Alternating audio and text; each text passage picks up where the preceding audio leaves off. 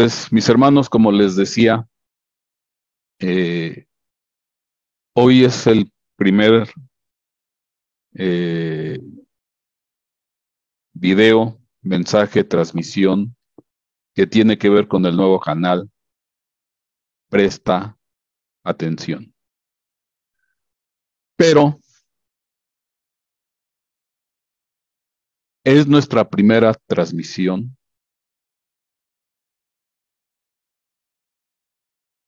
y espero que no sea la última por los acontecimientos que han ocurrido.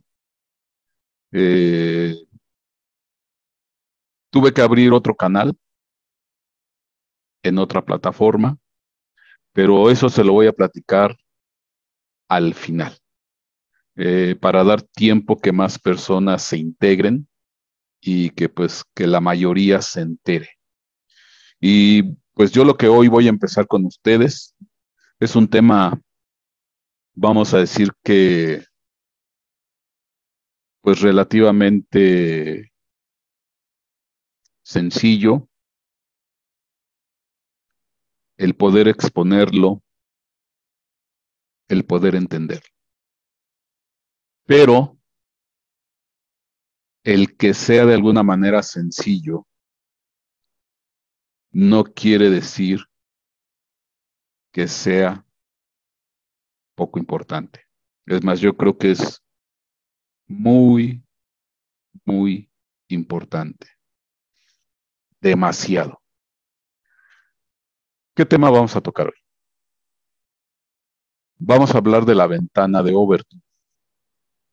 Recuerde que este canal y este espacio de los viernes vamos a comentar cuestiones de noticias, eh, eventos, sucesos, situaciones que están pasando a lo largo y ancho de este planeta, tanto del pasado, presente y futuro.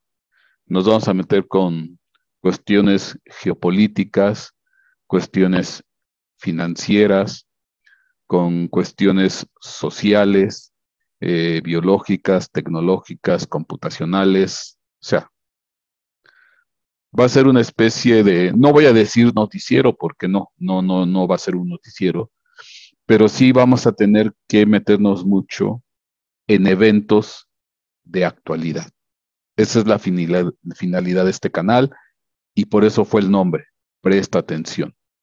Y pues nuestro tema de arranque es la ventana de Overton. ¿Qué es la ventana de Overton? La ventana de Overton es una estrategia social que de alguna manera eh, permite o posibilita el poder convencer a la gente.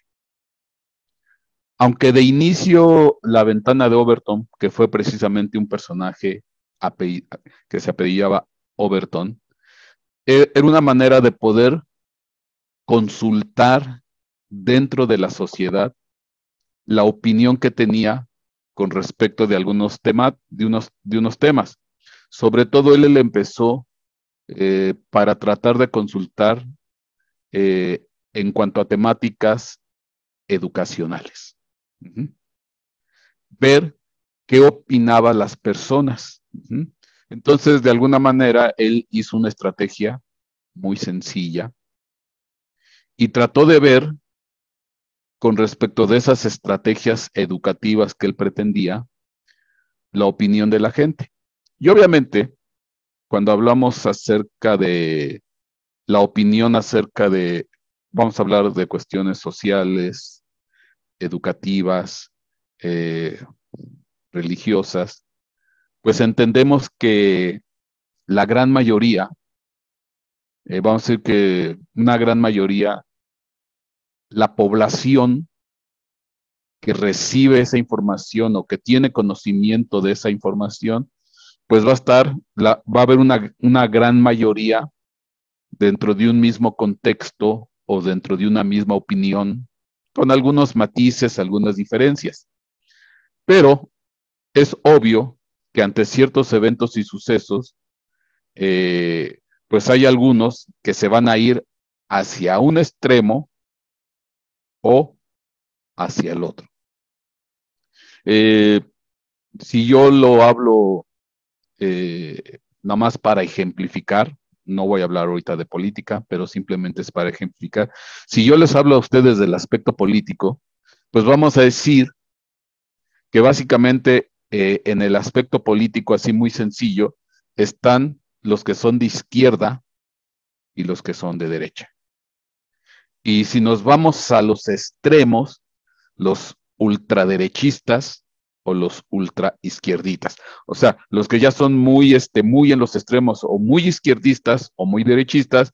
Y, si nos vamos eh, reduciendo, bueno, los que son de izquierda y derecha y los que son de centro. Bueno, y ahí dentro de ese espectro, pues caben un montón de posiciones políticas. Pero, pero, pues bueno, eso es hablando de política, pero esto puede aplicar a distintas ramas sociales. Entonces, la ventana de Overton es tratar de ver, imagínense tal cual, una ventana, aquí le imagino, dentro de esta ventana, pues qué tanto de la gente está en el espectro de opinión. A lo mejor algunos están muy a la izquierda, otros están muy a la derecha y otros están en la parte central. Entonces, pues al final la ventana de Overton simplemente es una mirada a la opinión social, donde la mayoría, pues es obvio que la mayoría va a estar dentro de un promedio central. Ahora, ¿para qué sirve esto? Porque aquí lo interesante es tratar bajo ciertas estrategias sociales desplazar esta ventana. Porque, por ejemplo, si les hablo de alguna eh, postura política, voy a hablar ahorita nada más para abrir boca. El aborto. El aborto. Actualmente, actualmente, ya en estos tiempos, año 2023, eh, en donde creo que ya la gran mayoría de los países eh, en este planeta, pues la gran mayoría de los países de este planeta ya aceptan el aborto.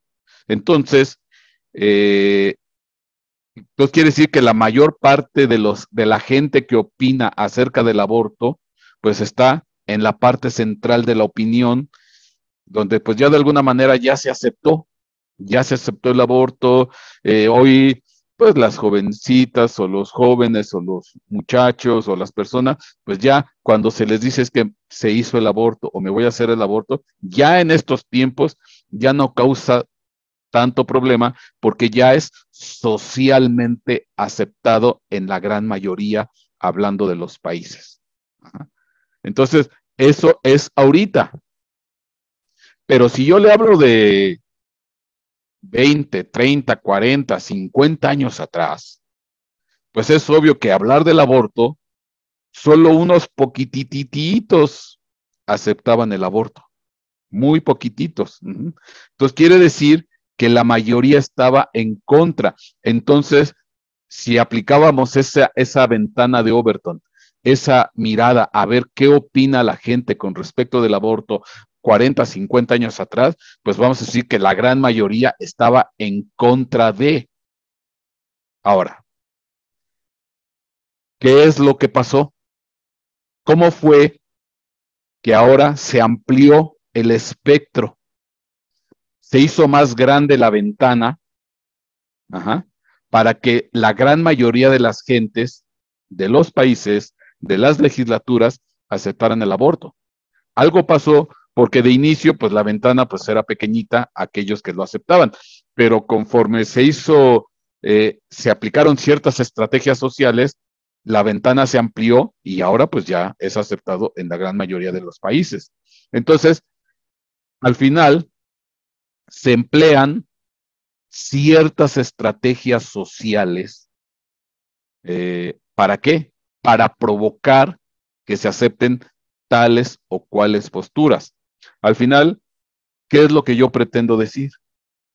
Se aplica una metodología social y básicamente son cinco puntos, ¿eh? Ni crea que, ni crea que es algo así como que muy, muy extenso. Son cinco puntos en los cuales se aplican estos cinco puntos de tal manera que aplicando estos cinco puntos, algunos con más énfasis, otros con menos énfasis, dependiendo la cuestión, dependiendo el país, dependiendo la estrategia, dependiendo el político, dependiendo el gobierno.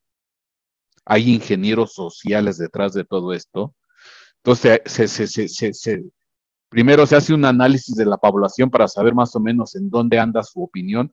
Se aplican estas, estas técnicas sociales y la idea es convencer a la población convencer a la gente, convencer a las masas. ¿Qué fue lo que ocurrió? ¿Qué fue lo que pasó?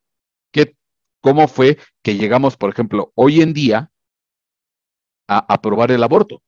Sabemos que hoy en día son, ya son los menos los que están en, en desaprobación del aborto.